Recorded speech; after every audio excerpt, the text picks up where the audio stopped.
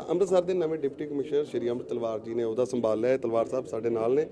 ਤਾਂ ਅੱਜ ਹੀ ਉਹਨਾਂ ਨੇ ਜਿਹੜੇ ਅਧਿਕਾਰੀਆਂ ਨਾਲ ਵੀ ਮੀਟਿੰਗ ਰੱਖੀ ਹੈ। ਅਸੀਂ ਗੱਲਬਾਤ ਕਰਾਂਗੇ। ਤਾਂ ਸਰ ਸਭ ਤੋਂ ਪਹਿਲਾਂ ਵੈਲਕਮ ਟੂ ਅੰਮ੍ਰਿਤਸਰ। ਗੁਰੂ ਦੀ ਨਗਰੀ ਹੈ। ਕੀ ਕਹਿਣਾ ਚਾਹੁੰਦੇ ਹੋ ਸਭ ਤੋਂ ਪਹਿਲਾਂ। ਥੈਂਕ ਯੂ ਸ਼ੁਕਰੀਆ। ਮੈਂ ਬਹੁਤ ਮਾਣ ਮਹਿਸੂਸ ਕਰਦਾ ਮੈਨੂੰ ਗੁਰੂ ਦੀ ਨਗਰੀ ਦੀ ਸੇਵਾ ਕਰਨ ਦਾ ਮੌਕਾ ਮਿਲ ਰਿਹਾ। ਤੇ ਉਮੀਦ ਹੈ ਕਿ ਜਿਹੜੀਆਂ ਮੇਰੇ ਤੋਂ ਐਕਸਪੈਕਟੇਸ਼ਨਸ ਨੇ ਪੰਜਾਬ ਗਵਰਨਮੈਂਟ ਦੀਆਂ ਜਾਂ ਸਰਕਾਰ ਵੱਲੋਂ ਸਾਨੂੰ ਇਹ ਡਿਊਟੀ ਦਿੱਤੀ ਹੈ। ਤੇ ਉਹਨੂੰ ਪੂਰਾ ਖਰੇ ਉਤਰਨ ਦੀ ਪੂਰੀ ਸਾਡੀ ਮੇਰੀ ਕੋਸ਼ਿਸ਼ ਰਹੇਗੀ। ਸਰਹੱਦੀ ਅੰਮ੍ਰਿਤਸਰ ਜ਼ਿਲ੍ਹਾ ਹੈ ਕੀ ਪ੍ਰਾਇੋਰਟੀਜ਼ ਰਹਿਣਗੀਆਂ? ਬਾਰਡਰ ਏਰੀਆਜ਼ ਦੇ ਲੋਕ ਵੀ ਜਿਹੜੇ ਨੇ ਉਹ ਸਰਕਾਰ ਨੂੰ ਨੇੜੇ ਪਾਉਣਾ ਚਾਹੁੰਦੇ ਨੇ? ਜਾਂ ਓਵਰਆਲ ਜ਼ਿਲ੍ਹੇ ਦੇ ਲਈ ਕੀ ਤੁਹਾਡੀ ਪ੍ਰਾਇੋਰਟੀਜ਼ ਬਾਰਡਰ ਏਰੀਆ ਦੇਖੋ ਸਰਕਾਰ ਦੇ ਪਹਿਲਾਂ ਹੀ ਬਹੁਤ ਜ਼ਿਆਦਾ ਫੋਕਸ ਤੇ ਆ ਤੇ ਸੀਐਮ ਸਾਹਿਬ ਵੀ ਬਹੁਤ ਦੌਰਾ ਕਰਦੇ ਆ ਗਵਰਨਰ ਸਾਹਿਬ ਵੀ ਆਉਂਦੇ ਆ ਪ੍ਰਾਇੋਰਟੀਜ਼ ਉਹਨਾਂ ਦੀਆਂ ਆਲਰੇਡੀ ਲਿਸਟਡ ਹੈ ਬਾਰਡਰ ਏਰੀਆ ਕਰਕੇ ਆਈ ਨੋ ਬਹੁਤ ਸਾਰੀਆਂ ਪ੍ਰੋਬਲਮਸ ਨੇ ਜਿਹੜੀਆਂ ਇਲਾਕੇ ਦੀ ਡਿਵੈਲਪਮੈਂਟ ਦਾ ਵੀ ਇਸ਼ੂ ਹੈ ਇਕਨੋਮਿਕ ਡਿਵੈਲਪਮੈਂਟ ਤੇ ਹੋਰ ਜਿਹੜੇ ਉਹਨਾਂ ਦੇ ਬਾਰਡਰ ਦੇ ਨਾਲ ਜਿਹੜੇ ਪਿੰਡ ਬਿਲਕੁਲ ਬਾਰਡਰ ਤੇ ਉੱਤੇ ਲੱਗਦੇ ਆ, ਉਹਨਾਂ ਦੀ ਜਿਹੜੀਆਂ ਪ੍ਰੋਬਲਮਸ ਨੇ।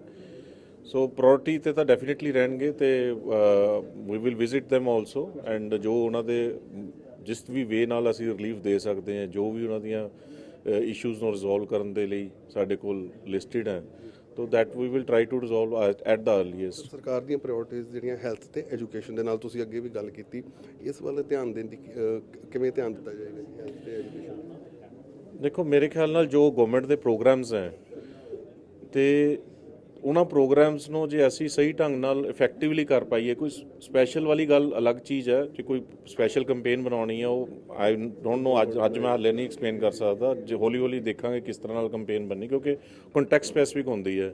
ਜੋ ਕੈਂਪੇਨ ਮੋਹਾਲੀ 'ਚ ਹੈ, ਉਹ ਅੰਮ੍ਰਿਤਸਰ 'ਚ ਦੂਰੀ ਨਹੀਂ ਉਸੇ ਤਰ੍ਹਾਂ ਹੋਏ ਡਿਫਰੈਂਟ ਵੇ ਨਾਲ ਹੋ ਸਕਦੀ ਹੈ। ਸੋ ਉਹ ਸਪੈਸ਼ਲ ਕੈਂਪੇਨ ਤਾਂ ਅਲੱਗ ਚੀਜ਼ ਹੈ ਪਰ ਜਿਹੜੇ ਗਵਰਨਮੈਂਟ ਦੇ ਪ੍ਰੋਗਰਾਮ ਉਲੀਕੇ ਹੋਏ ਆ ਆਲਰੇਡੀ ਮੁਹੱਲਾ ਕਲੀਨਿਕ ਹੈ ਜਾਂ ਰੀਹੈਬਿਲਿਟੇਸ਼ਨ ਦਾ ਜਿਹੜਾ ਹੈਗਾ ਜਾਂ ਕਲੀਨਿਕਸ ਹੈਗੇ ਆ ਉਹਦੇ ਇਹਨਾਂ ਦੇ ਨਸ਼ਾ ਛੁਡਾਊ ਕੇਂਦਰ ਨੇ ਉਹਨਾਂ ਦੀ ਜਿਹੜੀ ਕੁਆਲਿਟੀ ਹੈ ਜੇ ਉਹੀ ਪ੍ਰੋਗਰਾਮਸ ਨੂੰ ਅਸੀਂ ਸਹੀ ਇਫੈਕਟਿਵ ਜਾਂ ਐਫੀਸ਼ੀਐਂਟ ਤਰੀਕੇ ਨਾਲ ਇੰਪਲੀਮੈਂਟ ਕਰ ਪਈਏ ਤਾਂ I think that will give the relief. ਤਾਂ focus will be to improve the overall level of the service ਜਿਹੜਾ ਜਨਰਲ ਲੈਵਲ ਇੰਪਰੂਵਮੈਂਟ ਉਹਨੂੰ ਆਪਾਂ ਇੰਪਰੂਵ ਕਰੀਏ ਜਿਹੜੀਆਂ ਸਰਵਿਸਿਜ਼ ਹੈ ਤਾਂ I think that will bring automatically relief. Plus ਜਿਹੜੇ ਕੋਈ ਸਪੈਸ਼ਲ ਕੈਂਪੇਨਸ ਆ in due course of time we will plan for police ਨਾਲ ਕਿਵੇਂ ਦਾ ਤਾਲਮੇਲ ਰਹੇਗਾ ਜਿਵੇਂ ਨਸ਼ਿਆਂ ਦੇ ਖਿਲਾਫ ਸਰਕਾਰ ਲੜਨ ਲਈ ਕਹਿੰਦੀ ਔਰ ਜਿਹੜੇ ਤੁਹਾਡੇ ਆਪਣੇ ਮੁਲਾਜ਼ਮ ਨੇ ਜਿਹੜੇ ਸਿਵਲ ਪ੍ਰਸ਼ਾਸਨ ਵਧੀਆ ਦੇਣ ਇਹਨਾਂ ਨੂੰ ਕੀ ਤੁਸੀਂ ਮੈਸੇਜ ਦੇਣਾ? ਦੇਖੋ ਪੁਲਿਸ ਤੇ ਸਿਵਲ ਐਡਮਿਨਿਸਟ੍ਰੇਸ਼ਨ ਦੋਨੋਂ ਸਰਕਾਰ ਦੇ ਅਟੁੱਟ ਅੰਗ ਨੇ।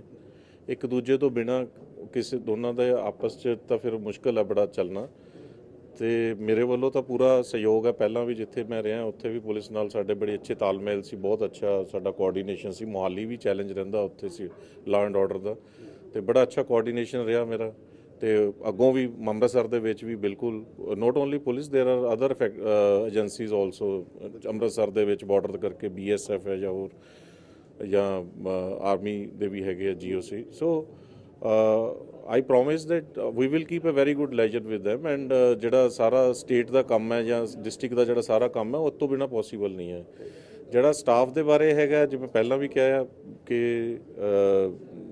ਮੈਸੇਜ ਇਹੀ ਹੈ ਕਿ ਲੋਕਾਂ ਦੀ ਮੁਸ਼ਕਲਾਂ ਉਹਨਾਂ ਨੇ ਹੱਲ ਕਰਨੀਆਂ ਮੈਂ ਇਹਨਾਂ ਦੀ ਮੁਸ਼ਕਲਾਂ ਹੱਲ ਕਰ ਦੂੰਗਾ ਤੇ ਮੈਂ ਬਲੀਵ ਕਰਦਾ ਕਿ ਸਟਾਫ ਉਹਨੂੰ ਪੋਜ਼ਿਟਿਵ ਲਏਗਾ ਤੇ ਲੋਕਾਂ ਦੀ ਸਰਵਿਸ ਵਧੀਆ ਢੰਗ ਨਾਲ ਕਰੇਗਾ। Thank you sir thank you ਤਾਂ ਅੰਮ੍ਰਿਤਸਰ ਦੇ ਡਿਪਟੀ ਕਮਿਸ਼ਨਰ ਸ਼੍ਰੀ ਅਮਿਤ ਤਲਵਾਰ ਜੀ ਜਿਨ੍ਹਾਂ ਨੇ ਇਹ ਕਿਹਾ ਹੈ ਕਿ ਉਹ ਛੇਤੀ ਸਰਹੱਦੀ ਖੇਤਰਾਂ ਦਾ ਵੀ ਦੌਰਾ ਕਰਨਗੇ ਤੇ ਲੋਕਾਂ ਦੇ ਨੇੜੇ ਜਾ ਕੇ ਜਿਹੜੀ ਸਰਕਾਰ ਦੀਆਂ, ਜਿਹੜੀਆਂ ਲੋਕਾਂ ਦੀਆਂ ਮੁਸ਼ਕਲਾਂ ਨੇ, ਉਹਨਾਂ ਨੂੰ ਜਾਣਨਗੇ ਤੇ ਹੱਲ ਕਰਨ ਦਾ ਉਪਰਾਲਾ ਕਰਨਗੇ। ਕੈਮਰਾ ਕਰਸਨ ਮੁਕੇਸ਼ ਨਾਲ ਗਗਨਦੀਪ ਸ਼ਰਮਾ, ਦੈਨਿਕ ਸਵੇਰਾ ਟੀਵੀ, ਅੰਮ੍ਰਿਤਸਰ।